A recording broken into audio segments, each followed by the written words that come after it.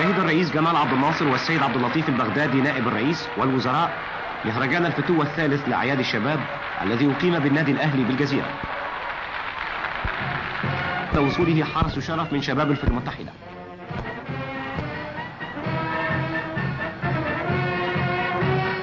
وكان برنامج المهرجان حافلا. قدم فيه 12 ألف فتى وفتاة من إقليمي الجمهورية. عرضا رائعا لمختلف مجالات النشاط لشباب الفتوة وشهد الحاضرون عرضا للاشتباك والدفاع عن النفس. وقد أدى الشباب هذا العرض في ثبات وإجادة ومهارة دلت على حسن تدريبهم. وقد اشترك في تقديم هذا العرض 500 طالب.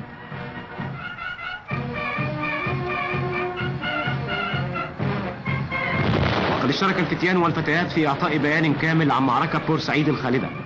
وفي دقائق معدودات أقيمت المنازل والاستحكامات ومثل الشباب دور المقاومة الشعبية.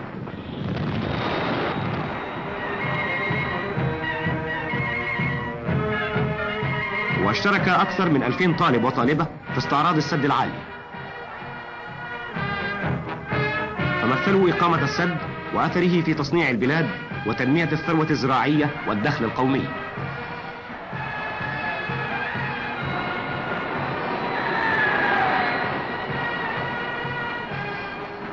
وتضمن العرض الكبير هبوط أول فوج من الهابطات بالمظلات في الشرق الأوسط مع الفوج الثالث من الفتيان الذين تخرجوا حديثا.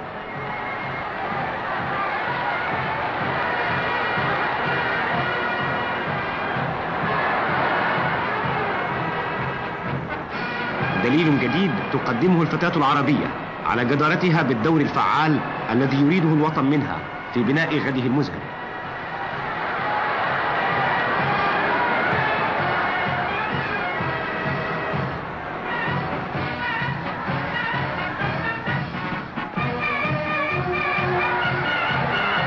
ومرت بعد ذلك القوات المشتركة في العرض أمام الرئيس جمال عبد الناصر في خطوات متزنة قوية. شباب مؤمن بوطنه وعروبته يسير كتفا إلى كتف في عزم وإصرار لبناء مستقبل أمته ومجد وطنه. شباب الإقليم الشمالي من الفتيان والفتيات يرسمون مظهرا من مظاهر التضامن القوي الذي عم الشباب في مختلف أنحاء جمهوريتنا عرض للشرطة العسكرية قدمه الفتيان والفتيات. وقد استمر العرض زهاء ساعة بين تحيات الجماهير الذين قابلوا الشباب بحماس الحب والإعزاز.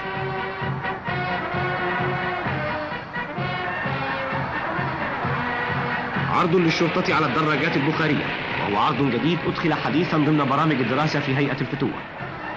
طابور الهابطين بالمظلات في خطوات سريعة وثابة